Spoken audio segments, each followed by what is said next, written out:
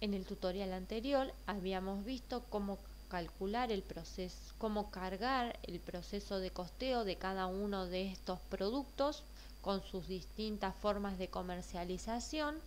Y ahora lo que vamos a ver que son las celdas verdes que están hacia la izquierda eh, que se, donde se cargan pocos datos eh, nos calcula el costo directo, la utilidad marginal, el costo de estructura, el costo total para este caso, que es un ejemplo, insisto que no se deben tomar estos datos como datos reales, solamente están puestos ahí con un fin didáctico.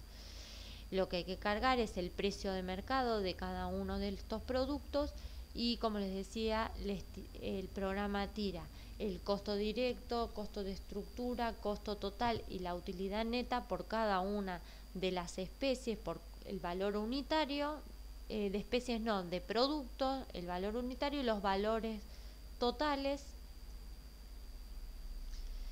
que es ese precio unitario por la cantidad obtenida de cada uno de los rubros productivos. Las celdas que aparecen en rojo es porque el costo es superior al precio de venta. Para este caso, por lo tanto, nos indica que esta especie se está comercializando 2,29 pesos por debajo del costo. Después en las celdas azules nos están mostrando los subtotales por rubro productivo. En la otra planilla, la de distribución de costos, podemos ver cómo se distribuyen los costos directos agrupados en estos ítems, materia de propagación, sustrato, contenedores, agroquímicos, fertilizantes, otros insumos, mano de obra temporal y los costos de estructura. Cuál es el total de cada uno de estos componentes del costo y el porcentaje de los costos directos y costos de estructura.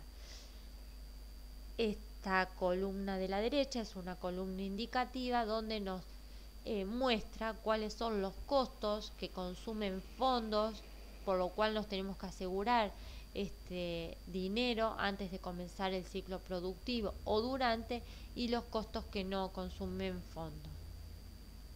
Acá vamos a ver cómo se distribuyen los costos. Los verdes son los directos, los rosados son los costos de estructura y cuáles son cada uno de los ítems dentro de ese eh, dentro del costo total. El resumen del periodo nos indica para este caso ejemplo, acá no hay que cargar nada, como ven son todas celdas color celeste eh, que toman los datos de las planillas anteriores. El precio por volumen obtenido, o sea, el ingreso, el costo directo, el costo de estructura y la utilidad por cada uno de los rubros productivos. Este ejemplo nos da que las coníferas, ustedes vieron que estaba por el precio de venta por debajo del costo, mm, nos da en rojo y este fue solo que, que hizo un ejemplo para mostrarle cómo funcionaba, pero si vuelvo acá a la planicie de precio costo utilidad no le cargué ni siquiera el precio de venta. Entonces, cuando uno le cargue el precio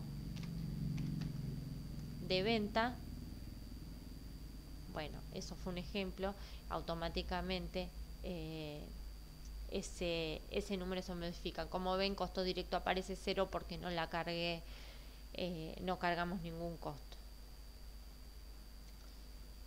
Eh, vamos a borrar para no confundir, supongamos que este productor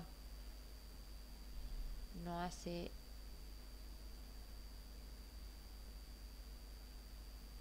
cítricos, cantidad de plantas acá, la borro para no confundirnos. Solo lo había puesto para un ejemplo, pero como ustedes ven ahí me decía coherencia de datos falso porque había cargado un dato mal. Resumen del periodo, ahí vemos cítrico cero y nosotros vamos a ver entonces cómo es la participación de cada rubro en la utilidad neta. En este caso, eh, esto es lo que representa árboles y arbustos a campo, esto es en maceta, las coníferas injertadas y los, las rosas. En este eh, esto, este gráfico nos indica cuál es la proporción de los costos variables, estructura y la utilidad en el ingreso total. Entonces, este rojo es el costo de estructura, el azul el costo directo y el verde es la utilidad para este ejemplo que acabamos de ver. Bueno, hasta acá llegamos con este tutorial.